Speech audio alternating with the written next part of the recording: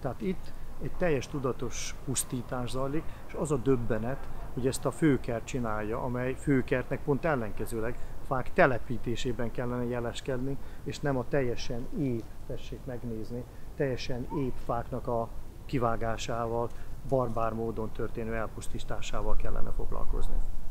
Milyen csatákat veszít el, és hogyan szolgálja a közösséget. Nem kellett volna megszavazni, mondja a kolléga hátam mögött, és teljesen igaza van, lehet, hogy én megszavaztam a Városliget projektet, és a lehet az azért, mert nem emlékezhetek, de ez könnyen kikutatható, hogy mondjuk, mert megvannak ugye regisztrálva, hogy ki hogyan szavazott, de a kolléga ott téved, hogy a Városliget projekt megszavazása az nem azt jelenti, hogy a végrehajtást így kell csinálni. És itt most nem szabadkozom, hanem állítom a következőt. Én támogatom ezen kulturális létesítmények megépítését, de ha fakivágással jár együtt, akkor itt nem. Vagy másút sem. Tehát a Városliget törvény az arról szólt, hogy egy ilyet akarnak csinálni, de az nem egy végrehajtása a tervnek, már pedig itt a végrehajtást láthatjuk, és ez a számomra elfogadhatatlan, mert szakmaiatlan, mert fakivágással történik. Ha megkérdezi bárki, hogy hogyan történhetne másképpen, például úgy, hogy a fákat, akár kettőt, 32-t, 15-öt, akármennyit inkorporálnak, azaz beleépítenek az épületbe. Attól, hogy valaki pozíciót tölt be, még nem az következik, hogy szakmaiatlannak kell lennie, gátlástalannak kell lennie, síbolnia kell, és mondjuk a természet pusztítása révén kell elérnie akár anyagi hasznokat a saját zsebe számára. A Fideszen belül a környezet és természetvédelem ügye mindig mostoha gyerek volt.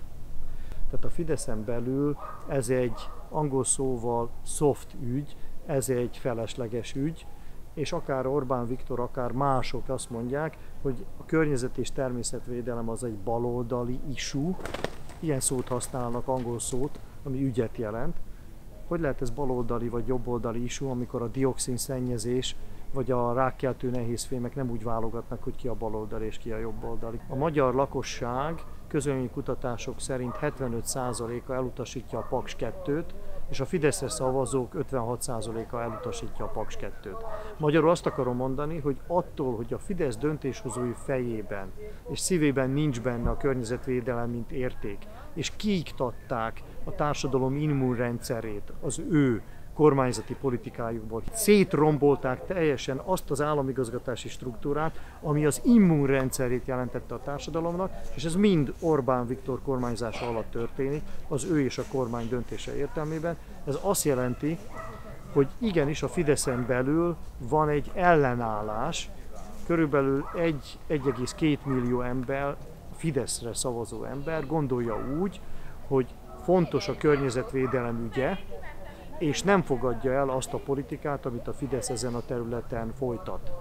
Az ember politikai családot azt nem nagyon váltogat, hanem igyekszik elmondani a problémákat és orvosolni.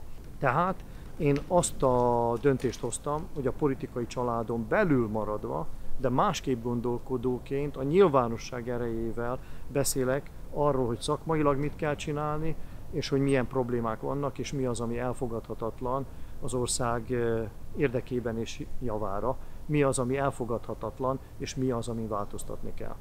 Tehát a törésvonal nem a pártok mentén történik, hanem vannak azok az emberek, akik értéknek tekintik a teremtett világot, mondom én, tehát érték a természeti környezet, és érték alapon akarják megvédeni ezt a világot, a természet egészét. Lett légyen ez egy városliget, vagy lett légyen ez egy vízfolyás valahol az országban, vagy a világ bármelyik pontján. És vannak azok, akiknek nem számít sem a természet, mint érték, ki akarják rabolni, ki akarják zsigerelni, és nyerészkedni akarnak belőle. De ezek az emberek általában más sötét tulajdonságokkal is rendelkeznek, például pénz utáni sóvárgással, mohósággal, gátlástalansággal és számos más rossz emberi tulajdonsággal. A József Nádor téren ugyanazt csinálták, hogy fekete fóliával vonták be a kerítést, hogy szemmagasságban ne lehessen belátni, és ezt a barbarizmus, vandalizmus ne lehessen látni, ezt a gyalázatot, a fajírtást ne lássák az emberek. Ezért én ott úgy döntöttem, és ez volt a motivációm, hogy leszedem a fóliát. Erre a biztonságiak kihívták a rendőrséget, és legnagyobb megdöbbenésemre a rendőr az orrát az arcomba nyomva artikulálatlanul elkezdett üvölteni. Én sem voltam rest, az orromat az arcába nyomva, én még nagyobbat üvöltöttem, és annyira megrettent, hogy elkapta a fejét és leesett a sapkája.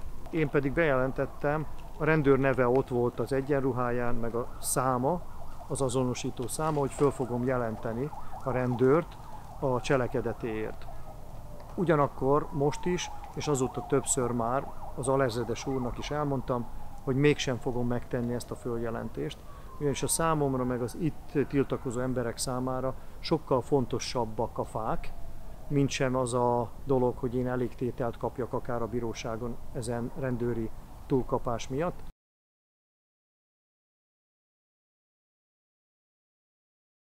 Adj egy százalékot az átlátszónak, hogy megtud, mire megy el az adót 99 százaléka.